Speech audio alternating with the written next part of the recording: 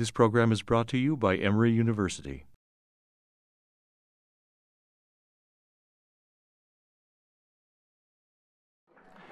Sorry about the delay, everyone. We're going to go ahead and get going. Um, before we start, just a reminder that we're in our final week of our uh, our children's drive for the uh, children in the county uh, Fulton County court system that we're supporting over the holiday season.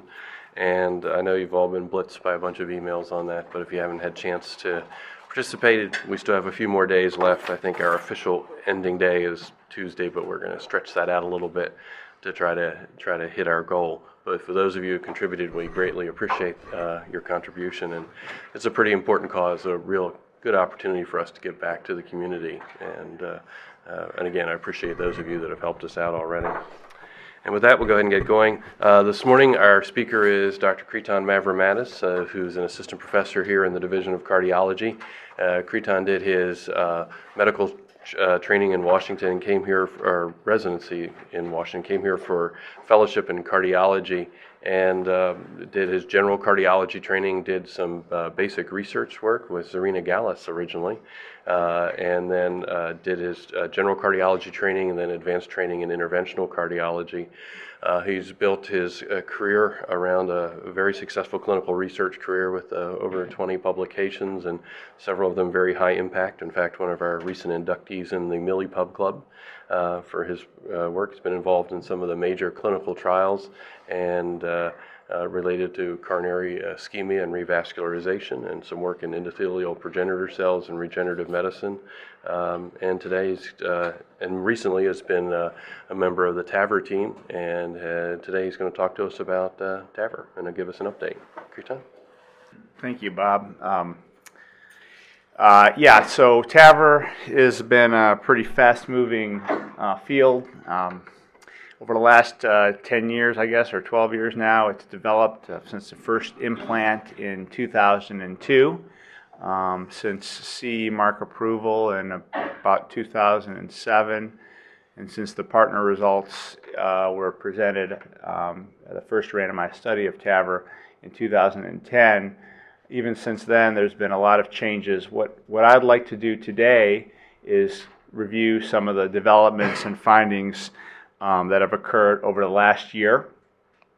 Uh, we'll start out with a few words about surgical uh, aortic valve replacement outcomes, then get into a little bit about the TAVR trial outcomes, um, talk a little bit about TAVR's commercial uh, history here in the United States and how it's been doing, and then finally, uh, touch on some future directions that TAVR is uh, taking. Let's talk a little bit about surgical outcomes. Surgical AVR is a big procedure and it's growing. Uh, some a study was recently released uh, in JAMA in um, 2013, which looked at 82 million Medicare beneficiaries and looked at their um, how much surgical AVRs are being performed and how well those surgical AVRs are being performed. Uh, as you can see, uh, in some select years here, the volume of surgical AVRs being performed in the United States, as reflected in this Medicare database, has been increasing steadily, over 30,000 in 2011.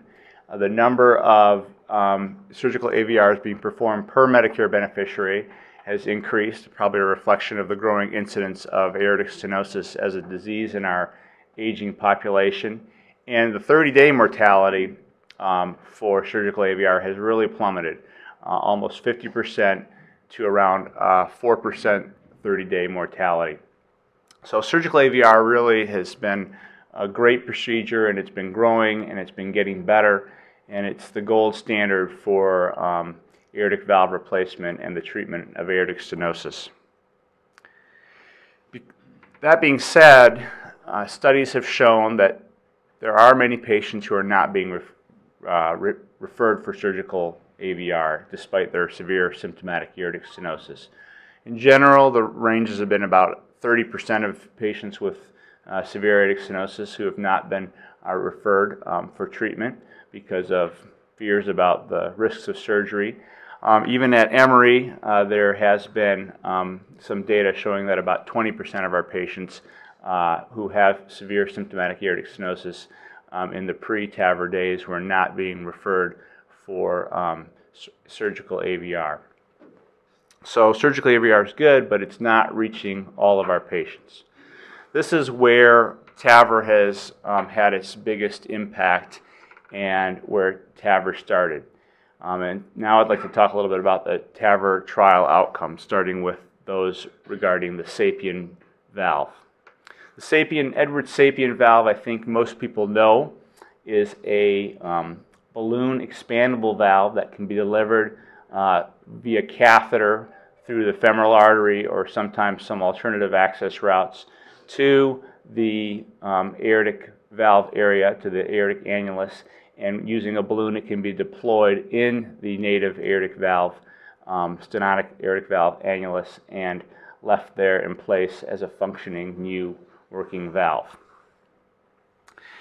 Partner, partner B specifically, was the first trial to, first randomized controlled trial um, to look at the efficacy of this valve.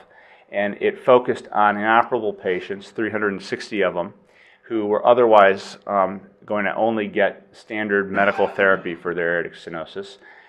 And these patients were randomized either to standard therapy or to receive the transcatheter valve. Um, standard therapy at that time included, for the most part, balloon valvuloplasty.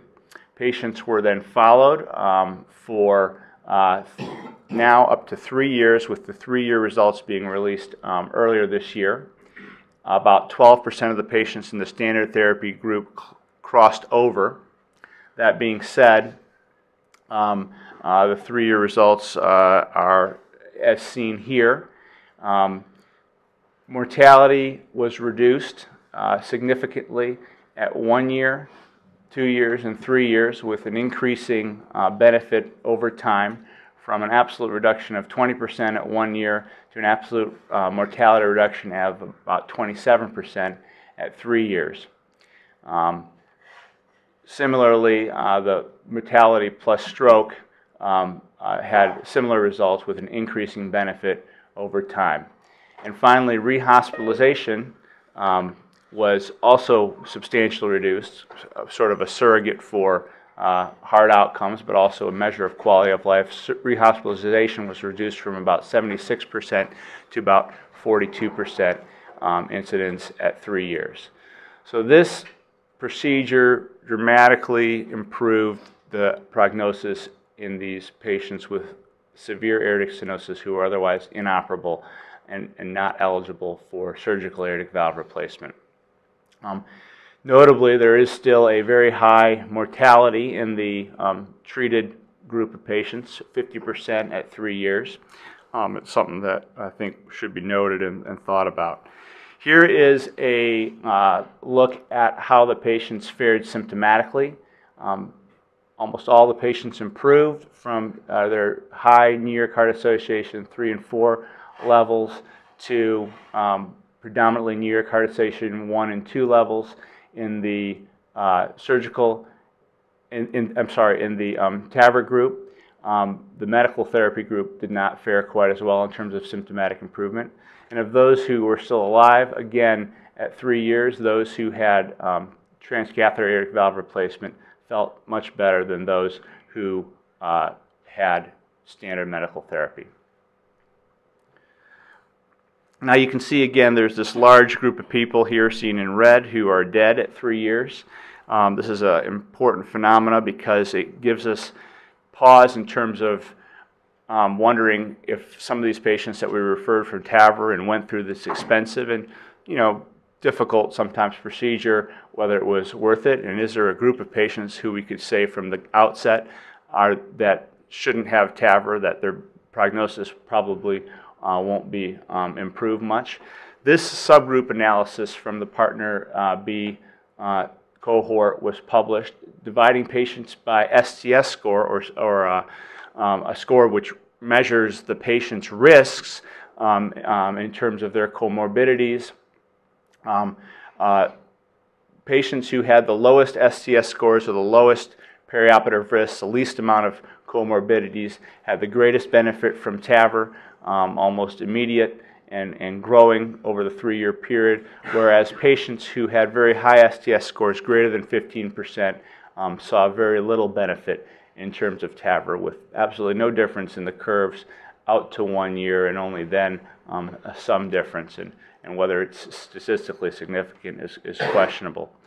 Um, so one could say that, as, as may be clinically obvious, the sickest patients who have a lot of other medical problems probably won't benefit uh, much from TAVR, but um, uh, the other patients will. Clinically speaking, figuring out on an individual basis which patients these are can be a challenge, uh, but it is something for us to keep in mind.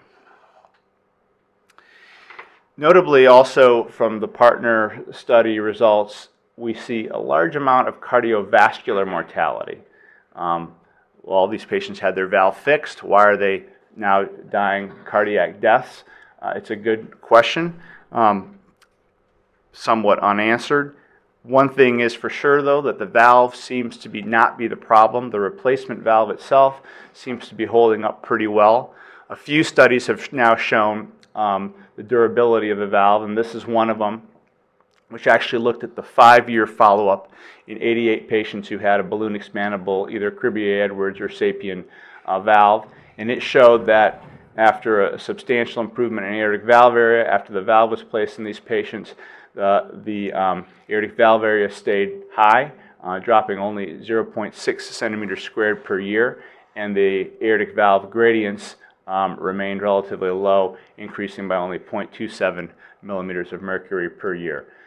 Um, in this study of these 88 patients, no patients had any valve dysfunction until year four, at which point three patients developed moderate valvular dysfunction of their um, TAVR valve, but none of them developed severe valve dysfunction requiring uh, replacement or um, other treatment. So the valve is durable. Well, partner A uh, was another aspect of the partner study. This was a different, um, uh, this study focused on a different group of patients. Namely, it focused on those patients who were not inoperable, but rather they were high risk but could undergo surgery. So high risk for surgery, but, but surgeons were willing to operate on them. 700 such patients were um, found and enrolled. All the patients went, underwent an evaluation to see if they could have transcatheter valve replacement via the femoral route. Um, this was, uh, if this was possible, patients were then randomized into the transfemoral arm, in which case they were randomized one to one to TAVR transfemorally versus surgical AVR. If this was not possible, they underwent uh, transapical TAVR, in which an incision is made um, in, the, in the left chest wall, left thoracotomy is performed, and the catheter is placed directly through the chest wall into the apex of the heart.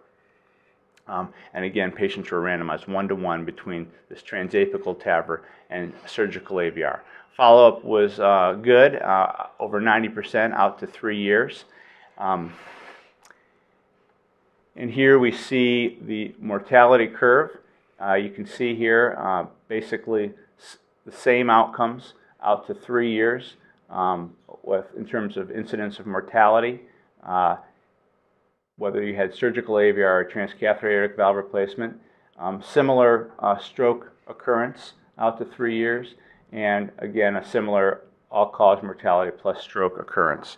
To look at these curves a little in a little bit more detail, I'll say that there was an early uh, separation uh, between the surgical AVR patients and the TAVR patients in terms of mortality, with a little bit higher mortality at six months about 22% versus 14% in the TAVR group, but this um, evened out at about one year. Similarly, um, or oppositely, I guess I should say, there was a little higher risk of stroke in the TAVR patients, about a 2%, 3% increased risk of stroke in the TAVR patients um, in the first month after TAVR uh, as compared to surgical AVR, which then um, eventually uh, normalized uh, by three years. That being said, you can see that surgical AVR is, uh, has fairly similar results to transcatheter aortic valve replacement um, at one year, uh, in, uh, three years in terms of mortality um, and stroke. Here is their um, symptomatic uh, uh, status over the study period. All the patients, almost all the patients, had three or four um, New York Heart Association heart failure, and almost all of them uh, had substantial improvement from their procedure, uh, with a little bit more improvement at 30 days in the TAVR group, um, but this evening out by one year and staying about the same out to three years in the TAVR and surgical AVR group. This early benefit um, uh, in terms of symptomatic improvement in the TAVR group uh, was seen also in the quality of life analysis in these patients. Again, all the patients, whether they went, underwent surgical AVR or transcatheter AVR, had a, had a very large improvement in quality of life. Um, uh, 26 to 30 points, with five points considered to be um, clinically significant. Um, as you can see, the patients who underwent transcatheter aortic valve replacement, uh, again, they felt a little bit better or at one month than the patients who underwent surgical aortic valve replacement. One thing that the um, uh, researchers here noticed uh, in their uh, analysis of this data was that there was a significant interaction between the treatment effect and the access route. And so they looked at um, transfemoral TAVR patients and the transapical TAVR patients separately, and they found that the patients who underwent TAVR who transfemorally are the ones who felt much better than the surgical AVR patients at one month. Um, whereas the transapical TAVR patients felt very similar to the surgical AVR patients at one month. And of course, at the end of 12 months, everybody felt about the same. The difference lies, it may be fairly obvious to, to everybody here, but the difference lies in the fact that um, transapical TAVR is a more morbid procedure than transfemoral AVR. Um, difficult to directly compare in the partner study, but these investigators um, took 501 um, partner patients, uh, actually partner pairs of patients, and they propensity matched them and found that these matched patients matched for about 102 different patient characteristics. Whether they underwent TF or TA, they were matched for 102 other different characteristics. That the TA patients, the transapical patients, had higher lengths of stay in the hospital, greater chance of hospital death, greater chance of renal failure, and a greater chance of bleeding than their matched transfemoral uh, patients. There was no real difference in this matched group of patients um, with regards to stroke. Both routes seemed to cause similar amounts of stroke, but there was a slight uh, increase in the risk of death in the transapical uh, group of patients.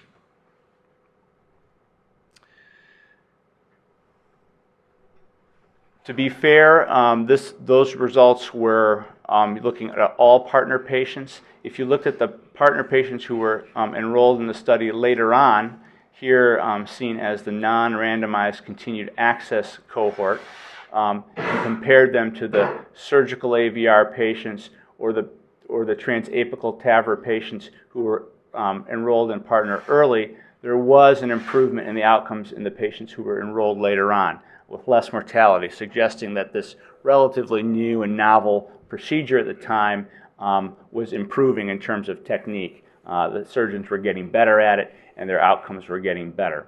Um, so, whether these differences still hold uh, now, several years later, after um, partner was studied, is, is not clear, but transapical um, is uh, uh, uh still being used and probably still getting better. Again, like in uh, partner B, um, we see evidence of valve durability in partner A. Uh, in these high-risk surgical patients, the patients uh, all had a big improvement in valve area, whether they underwent TAVR or surgical AVR, a little better uh, valve area or increased valve size, valve area size in the TAVR patients um, early on. Uh, but all of them maintained this valve area out to three years, and again maintain relatively low aortic valve gradients out to three years, evidence of the um, valve's durability. One of the so for the most part, um, TAVR and surgical AVR were, had very similar outcomes um, clinically in the Partner A study, but one of the striking differences between the two was this phenomenon of paravalvular regurgitation, and it has been the subject of a lot of conversation and talk um, leaking basically around the valve, outside of the valve, in between the valve and the native annulus in which the valve is sitting. here we can see at 30 days there is about a 50% incidence of mild, moderate, or severe um, paravalvular regurgitation in the uh, TAVR group with a much lower incidence in the 10% range in the surgical AVR group. And while there's a little bit of reduction in um, paravalvular regurgitation with time, it seems to stabilize after one year and, and, and just kind of lingers um, with about a 50% or 40% occurrence of mild, moderate, severe um, uh, paravalvular regurgitation. Why is this occurring and, and, and is it bad? Um, well, in a, in a, subgroup analysis of these patients who, um, who underwent TAVR in this study, patients with none or trace um, paravalvular regurgitation had a significantly better um, long-term or I guess intermediate three-year term outcome than those with either severe uh, paravalvular regurgitation or just excuse me mild paravalvular regurgitation. It's pretty surprising. Um, obviously, we know that severe aortic regurgitation is bad, but even mild paravalvular regurgitation, it seemed to make a substantial difference, or it seems to be associated with a substantial outcome difference um, in this group of patients. The causes of paravalvular regurgitation are um, uh, basically listed here. Annular calcification plus eccentricity of the annulus because the balloon expandable sapien valve is round. It may not fit perfectly um, in the annulus of the patient, which is usually oval, and in particularly if the annulus has a lot of craggy calcium uh, sticking out of it or is um, particularly non-compliant. Inaccurate sizing. Uh, sizing is not trivial in terms of deciding what size valve goes into which uh, patient's annulus. And finally, inaccurate positioning. Again, positioning uh, may not be trivial, and sometimes if the position is slightly off, there can be a substantial amount of paravalvular regurgitation. Since the um, acknowledgement of this phenomenon of paravalvular regurgitation and the um, uh, and its impact on outcomes, the uh, strategy of 3D uh, sizing of the annulus has pretty much become the gold standard. This can be done either using CT, cardiac CT, or 3D transesophageal echocardiography. Um, either way, uh, basically a good understanding of both the sagittal and the coronal diameters of the annulus um, are important so that even an, area of the annulus can be derived and uh, a properly sized valve um, can be placed there. and I think that um, is going to result, excuse me, the improvement um, in terms of sizing and the reduction of paravalvular regurgitation to some degree, um, just using that strategy. Questions remain, though, regarding paravalvular regurgitation. Um, is it actually a cause of mortality? Might need a cup of water or something if you'd be so kind. Is it, is it a cause of mortality or is it really a marker of vascular disease? Um, again, uh, uh, more calcium, less vascular compliance. Um, how is the accuracy of our quantification? Is, are we really able to say that this is mild um, regurgitation while others uh, seem to have severe paravalvular regurgitation. It's notoriously difficult to quantitate um, regurgitation by echocardiography and even by uh, fluoroscopy. And then the last question is, are there groups of patients in particular that are, are very um, affected by paravalvular regurgitation, maybe those with um, very stiff uh, ventricles? Again, though, overall, the clinical results were similar in the um, surgical aortic valve replacement patients um, and the transcatheter aortic valve replacement patients in these high-risk um, group of uh, surgical, thank you, thank you, um, aortic stenosis patients. So the, one of the questions, one of the other questions that came out of the study was, is there uh, some subgroups within the bigger group of patients that do better with TAVR than surgical AVR, even though on the whole, most patients do similarly with either method. And the answer here, um, the answer here is not totally clear, but one of, some suggestions of answers based on some subgroup analysis that have been performed in the last year. Um, this subgroup analysis that you see here focused on women, and, and the women in the uh, uh, Partner A study, they did substantially better at two years with um, lower mortality in the TAVR group than in the surgical AVR group. This benefit was actually predominantly seen in the transfemoral um, TAVR patients, not the transapical TAVR patients.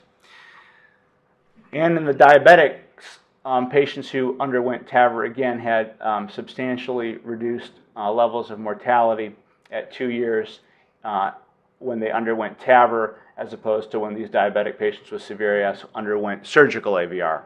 So again, this was this benefit was seen with both the transfemoral and the transapical approaches, and um, and uh, again, these sub-studies suggest and are, are more hypothesis generating than anything, but they suggest that there may be uh, benefit in these subgroups of a substantial benefit of these subgroups of TAVR over surgical AVR.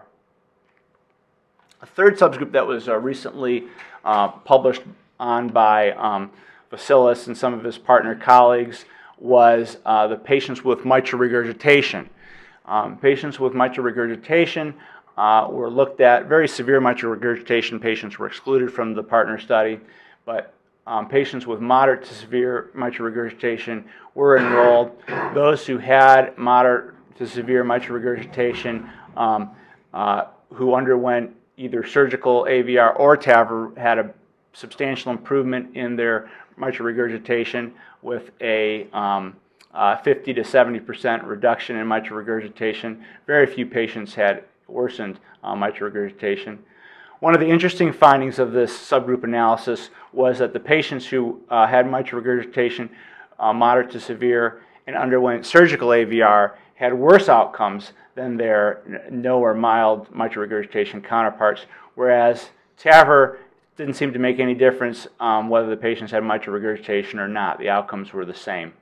This suggests that TAVR may be a better approach in those patients with moderate, moderate to severe um, functional mitral regurgitation. The newest partner results are um, that were have come out have been based on a newer technology um, through the Partner 2B study. Uh, these, this newer technology is called the Sapien XT. It's a variant of the Sapien valve, and basically its biggest uh, claim to fame, I should suppose, is that it can be compressed into a smaller size and therefore fit up a smaller uh, sheath with a 33% smaller cross-sectional area. Um, perhaps allowing for more patients uh, to be eligible for the transfemoral approach um, with, with less risk to their femoral arteries. And these results were, uh, the one year results were released this year of um, uh, about uh, a couple hundred patients who were inoperable for um, surgical AVR who were randomized to either receive the regular Sapien valve or this new Sapien XT. Here you can see their mortality was nearly identical out to one year. But what, you, what we did see in the smaller print was that the procedures with the Sapien XT were easier. Less anesthesia time, less aborted procedures, less intra-aortic balloon pump need, less major vascular complications, and less uh, disabling bleeding. So while not a big improvement in terms of mortality in the long run, it definitely uh, reduced, um, it definitely made the procedure easier and reduced procedural uh, morbidity. I would like to also talk about one of the newer valves to come out um, recently, the CoreValve. Uh, it's actually been around, but it's the newer, newest uh, study has been released on this um, valve and released in TCT uh, a couple or about a month ago. This valve is a little bit different than the Sapien valve. It's not balloon expandable, but rather self-expanding. It's a, it's a little bit bigger than the Sapien valve, extending further out into the aorta, outflow tract. I'm sorry, further out into the aorta and deeper into the LV. Um, it's a, it's a, therefore a bigger valve which has its own pluses and minuses compared to the Edwards Sapien valve. It is um, was recently uh, its one-year results um, on its uh, first study in the United States were recently released. Because Partner B results were um, released during the, this, uh, the ongoing study of the core valve, they couldn't have a medical therapy comparator group that felt that that would be unethical um, because uh, valve replacement improved the patient's prognosis so much. So instead, they compared the outcomes of, of the CoreValve patients to a performance goal, a historical control group um, derived from um, meta-analysis of several BAV or balloon valvuloplasty studies, uh, which probably has little long-range impact on mortality. Um, and compared to this performance goal of 43% mortality or stroke um, at one year, the CoreValve had uh, uh, um, incurred a significant benefit with a, a reduction of about 40% um, in terms of mortality and stroke um, and a uh, absolute 25% mortality and stroke rate at one year. Um, here you can see the mortality by itself, uh, both all-cause mortality and cardiovascular mortality. And here you can see the stroke rate pretty low at 4.1% at one year um, with re, uh, relative to uh, uh, these patients.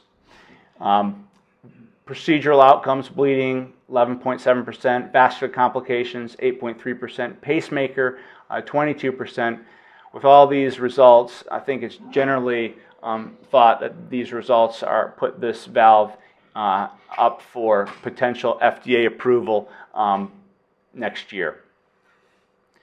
It's not probably uh, legitimate totally to do this, but uh, everybody tends to want to know how does the core valve stack up to um, the sapien valve, and so uh, I've done a just a simple cross uh, trial comparison here using this this chart. Um, no p-values or anything like that, but um, you can see there may be a few red flags if you just look at the partner study, the partner 2 study, and the core valve study. Um, maybe a little reduction with core valve in the stroke rate. Uh, that's been talked about. Um, uh, maybe a little uh, or a substantially lower paravalvular regurgitation rate in the core valve patients, um, but obviously a significantly higher pacemaker rate in the core valve patients. At least that's how it appears looking at these absolute numbers. This is not really a, a valid comparison of the valves, um, uh, but um, there have been no randomized controlled head-to-head studies. There has been one um, study uh, looking at patients in a registry um, who received TAVR, uh, 204 propensity matched AS patients um, who underwent TAVR with either CoreValve or Sapien were, were compared. And here you can see in this, in this European registry study where CoreValve and Sapien have been used longer in the United States, there's really no difference in all-cause mortality, cardiac mortality, uh, major, major stroke in these patients. The only difference at all in these outcomes was a higher incidence of pacemaker in the core valve patients, uh, with a 22% need of pacemaker compared to 6% in the Sapien patients. The other, um, it, oops, let's see here. The other issue, the paravalvular regurgitation, uh, which was strikingly different if you looked at cross trials. Again, a, kind of a subjective thing that's, that's to some degree difficult to um, objectively evaluate. Well, anyway, in the pragmatic registry of these propensity matched um, CoreValve and sapien patients, there's really no difference in paravalvular regurgitation. Um, a slight tendency towards the CoreValve having a bit more. Similarly, in the France 2 um, European registry and the UK TAVI um, registry, uh, there were, were no real differences in paravalvular regurgitation between CoreValve and sapien valve. Um, uh, uh, maybe a tendency again for the core valve to have a little bit more, but the bottom line is, um, for the most part, until we, we start using both and there's a randomized controlled trial comparing both, um, besides the difference in pacemakers, uh, uh, we, we, probably won't be thinking about much else being different about the valves in terms of outcomes. I'd like to talk a little bit about commercial TAVR outcomes. Um, commercial TAVR uh, uh, was introduced after the one-year results of Partner B were um, presented in November of 2011. Um, it was first uh, then it was in November 2011. It was approved by the FDA. Um, since then, about 250 different sites in the United States have um, started to perform TAVR, and they've been all essentially required to participate in this TVT or transvalvular therapy registry. Um, in this figure, you see the 187 sites that have been that have performed more than 10 cases uh, since November of 2011. Um, Emory is probably somewhere in this area over here. Um, the bottom line is you can see that the average volume is around 20, 25 cases over that one and a half year period of time um, with an average STS score of around 7. I've just these results are from the TVT registry, again from November 2011 to May 2013, were recently published in JAMA. And you can see here, um, kind of get an idea of what kind of patients are having TAVR performed uh, since the partner study re- was re- released. Um, still, the patients are relatively elderly. Um, you can see their STS score is 7% uh, compared to a partner mean STS score of 11.4%. Um, 20% of the patients were in the, in the United States who had commercial TAVR were deemed to be inoperable, 80% high risk, um, 10% with a hostile chest, or 8% with a porcelain aorta. The bottom line, though, is the biggest difference is um, striking difference is there may be a tendency to do less risk patients that were involved in the partner studies um, with 11.4 versus 7% STS scores. Is there a risk creep? Um, possibly. Here you see how the procedures were performed. Almost all of them in a hybrid OR cath lab, all of them with general anesthesia, most of them with some sort of surgical uh, procedure uh, associated with them, either a cut down for the femoral artery exposure or a transapical um, uh, exposure and delivery of the valve. Uh, the success of the delivery of the valve was reasonably high, um, considering uh, this early experience, 92%.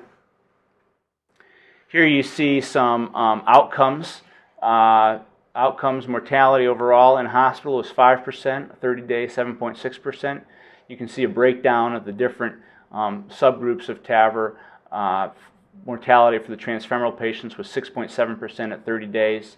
That compares to a 5% um, uh, mortality in the partner B cohort. So, again, pretty similar. Mortality um, in the uh, uh, non transfemoral, that basically the transapical patients, at 30 days was 10.8%, whereas it was 8.7% in the partner A study.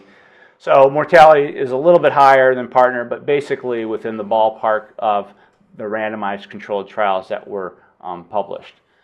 Um, here you see their uh, complication rates, again, all within the realm of what was seen in the randomized controlled trials. So this, this data, I think, from the TVT registry in, indicates there's been a pretty successful rollout of this technology to general community use.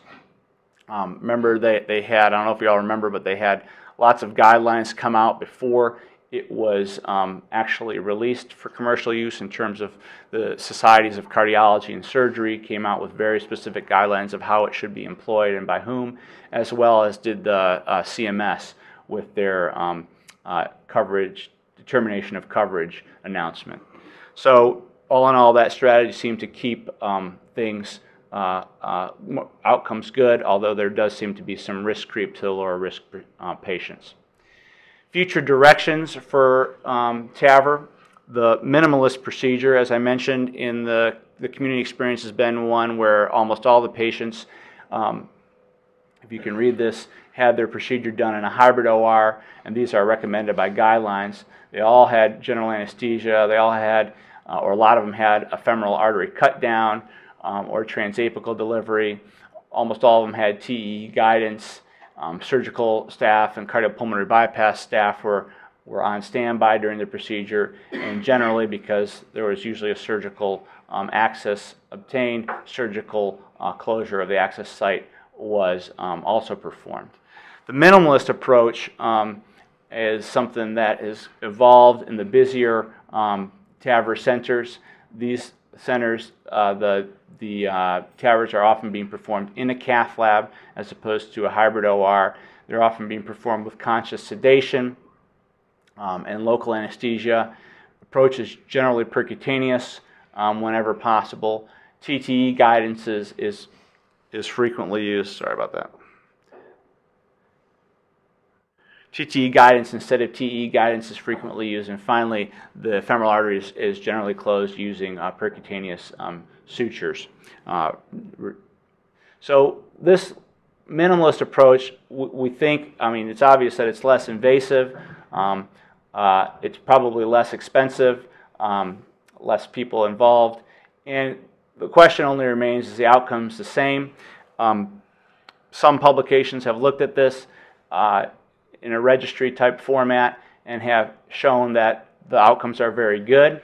Um, there's very low uh, incidence of conversion to anesthesia. Um, implantation success is very high. Vascular access success is very high.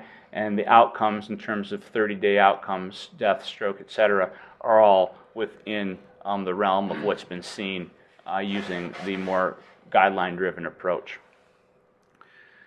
This minimalist method is, is generally what we're using here at Emory, um, and, and stay tuned. We'll, you'll probably hear more about our results in the um, uh, near future. Alternative access. Um, transapical was the first uh, non-transfemoral access to be developed, but it does, it works, but it does have some problems um, with it. Uh, it affects the myocardium. This is a study which um, shows that while trans transfemoral and surgical AVR improved, uh, let's see if I can get my pointer, improved the left ventricular ejection fraction early on, starting at 30 days, and, um, and out to six months, there was much less improvement, basically no improvement at 30 days, in those patients who underwent the transapical uh, TAVR approach. And again, you know, the, the, the myocardium is directly affected by the catheter, which is being pushed through the apex of the uh, heart, and, and it's thought that this may have some function on myocardial contractility. The transaortic approach um, is approach that's a little newer than the transapical approach in terms of its use, but it seems to be very promising. Um, 44 patients in this study uh, who underwent the transaortic approach were compared to 76 patients who underwent the transapical approach. Transaortic approach relies, instead of on a left uh, lateral thoracotomy, it relies on a uh, mini sternotomy um, uh, in the upper uh, sternum, and the catheter is placed directly into the exposed aorta, and the valve delivered directly into the annulus. Um, generally, surgeons are fairly comfortable with aortic exposures and aortic cannulation. That's something they frequently do for other um, procedures. And basically here you can see that the median length of stay was less in the transaortic approach and the median hospitalization was uh, shorter with the transaortic approach or tended to be. Um, the feeling is that the transaortic approach, when possible, it, it may be um, preferable. Uh, it has a very favorable learning curve, mostly because I think a lot of uh, surgeons are very experienced um, with this general approach. There's no myocardial injury, um, and there may be less respiratory impact in the sense that the lateral thoracotomy may be a little bit more uncomfortable for a, for a patient um, to heal up from uh, than the mini sternotomy. A homegrown access approach, one developed here at Emory, is the transcarotid approach.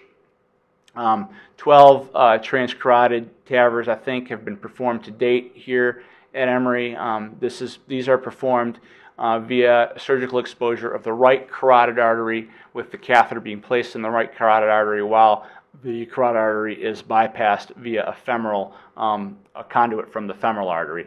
Um, and the, here you can see the catheter uh, going into the right carotid artery, and you see this uh, femoral um, carotid bypass conduit. Um, essentially, this has been a useful uh, uh, access technique for patients where neither the transfemoral technique nor the transapical technique nor even the transaortic technique have been um, reasonable due to various uh, surgical and clinical issues. And it's been um, effective so far with no deaths and no strokes um, in our uh, group of 12. Talk a little bit about uh, one of the uh, newer applications of the transcatheter aortic valves, the valve in valve. Um, basically, there are a bunch of patients out there who are having de degenerating bioprosthetic uh, valves placed, placed many years ago. And um, these patients, of course, um, facing a redo surgery to replace their bioprosthetic valve, have a relatively higher risk. Um, and they are a, a, prime target for possibly uh, being treated with uh, transcatheter aortic valve. Um, there's a lot of these that have been done so far in the world. A registry um, including 554 patients who um, had degenerated prosthetic valves that were treated with a valve, tra- transcatheter valve placed inside their degenerated valve, is seen here. And you can see here that gradients improve uh, substantially, that aortic regurgitation uh, basically disappears, and that uh, NYHA class improves. And it's been a good option for a lot of these otherwise high risk surgical patients. Um, there's some residual issues uh, that need to be worked out in, in, an occasional patient. There's coronary occlusion, um, issues with valve placement, but for the most part, this is definitely going to be an area of growth in the next few years. This, a similar strategy has been employed in patients who have degenerating mitral valve bioprostheses. Um, over 30 cases have been reported since uh, 2009 in the literature that I found. Um, we've done several of them here at Emory. Uh, a, a, valve, again, a transcatheter aortic valve, can actually be placed inside either a degenerated mitral um, bioprosthesis or a mitral valve that has been um, had a uh, valve repair with a ring in the past.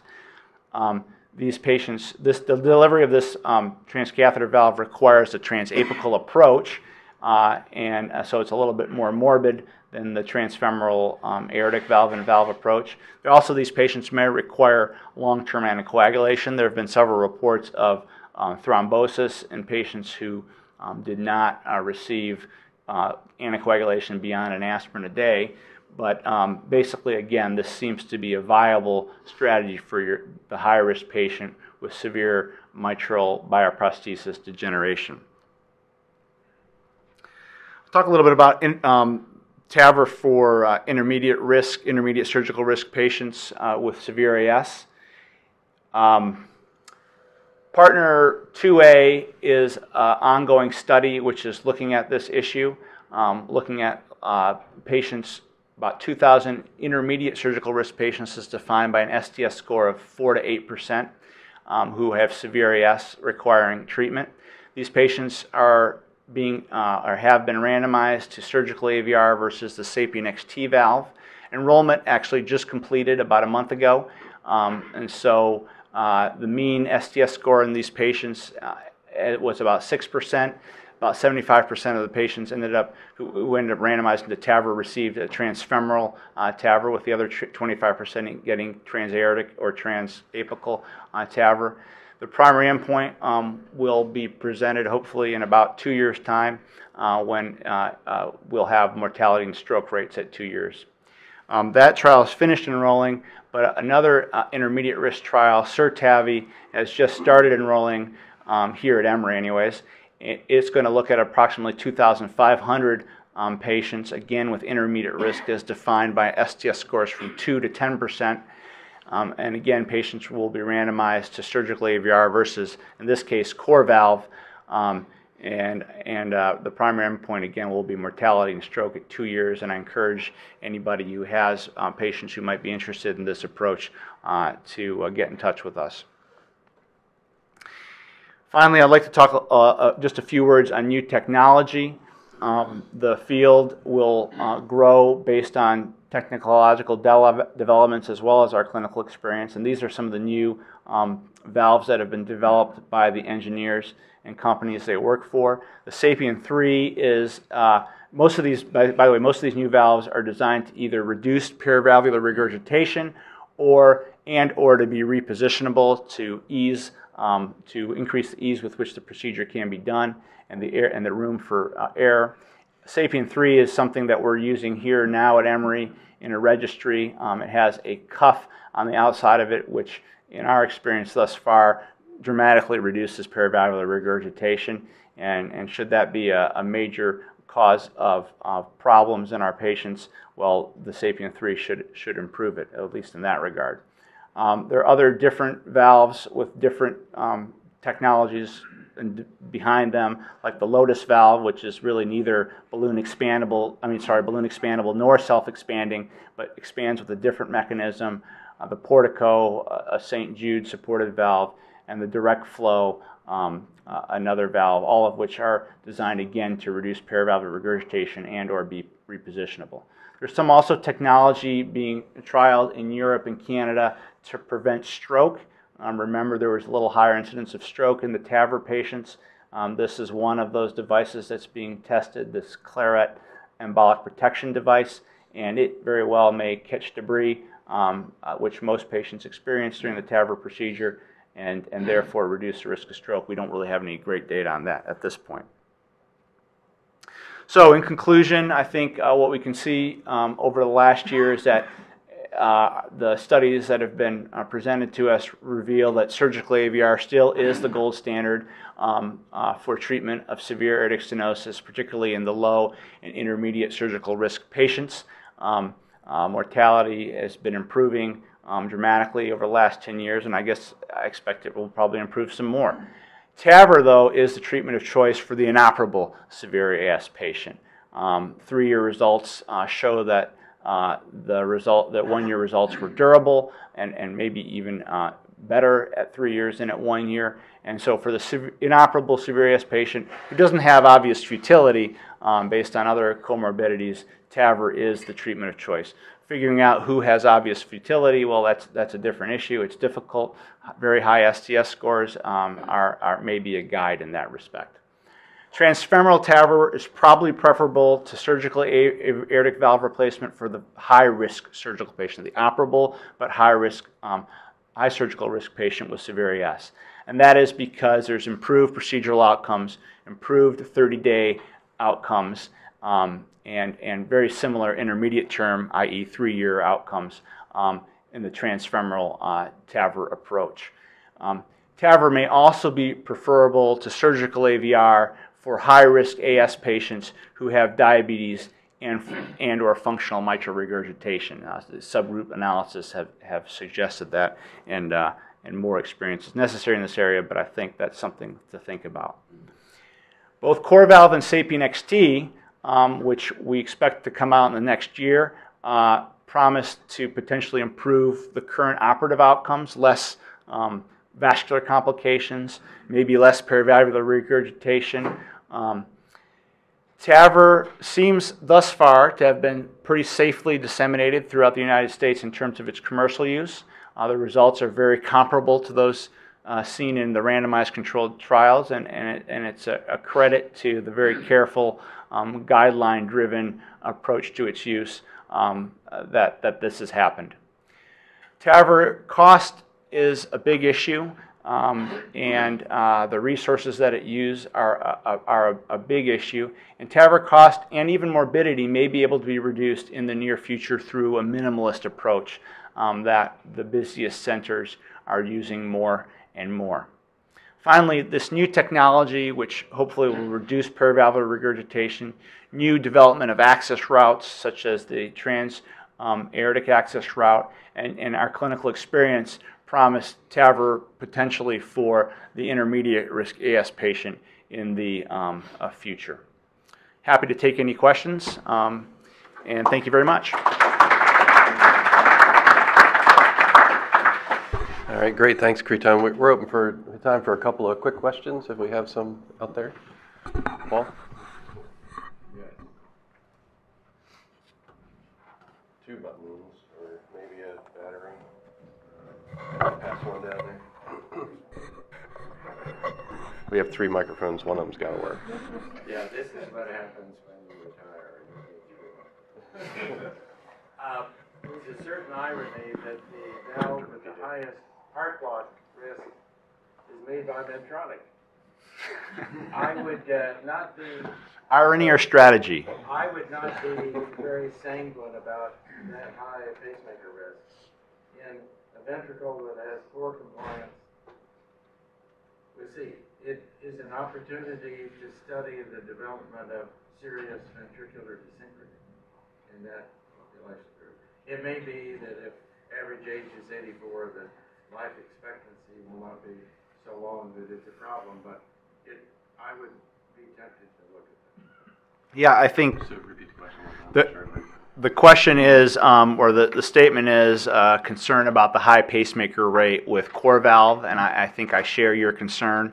Um, the early uh, data analyses that have been performed show that um, the patients who end up getting or needing a pacemaker uh, have similar outcomes to those who do not. But you know, I agree that um, all things considered, it may be better not to have a pacemaker for all the reasons you suggested, desynchrony, not to mention cost, etc.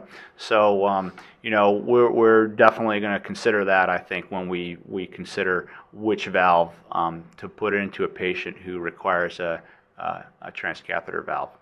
Insurance companies wouldn't think about it. Yeah. Yeah. Uh, Thanks, Tom, for a great talk. Um, One question, I mean, one key issue with comparing surgical versus uh, transapical is like cost and also the durability of the valve. Is there any information on durability and how do, how does the cost of the valve itself compare to the valves used in surgical? The um, the durability of the valves are similar. Uh, bioprosthetic. First of all, durability of the the transcatheter Edwards valve has been looked out to seven years, and it looks pretty durable. And I, I think I showed some data about that. Um, and again, the durability of the bioprosthetic versus the transcatheter valve in these high-risk patients seems to be about the same out to three years in the partner study. So I agree that durability is still an issue for those who are planning on using their aortic valve for a long time. Um, definitely an issue, and uh, stay tuned for more results that can only come with time, unfortunately. Um, the costs are, I haven't touched much on cost, and it's, it's probably an unfounded personal bias of mine, but I think costs can change dramatically. Right now, the cost of a transcatheter valve is probably three times that, um, maybe more. People know, probably here know that better um, than a than a surgical bioprosthetic valve. I believe that though that the valve costs will change as the market changes, and I think we can see that the market is going to change um, with the introduction of new technologies. So, you know, right now, overall procedures, um, the TAVR, there's been different cost effectiveness analysis, and, and some, some have suggested that the cost of uh, TAVR is the same. Some have suggested the cost of TAVR is more in the surgical aortic than the surgical aortic valve replacement strategy. But I think, again, that the valve cost has a potential to come down a lot. I was trying to get your picture of that. It's Sorry. not working. No, no, no. All right. Anyway, I think we'll have to uh, stop there. Uh, we'll ask you to thank Kreton and just hang out for a couple of quick announcements. So thanks, Kreton. Thanks a lot. The preceding program is copyrighted by Emory University.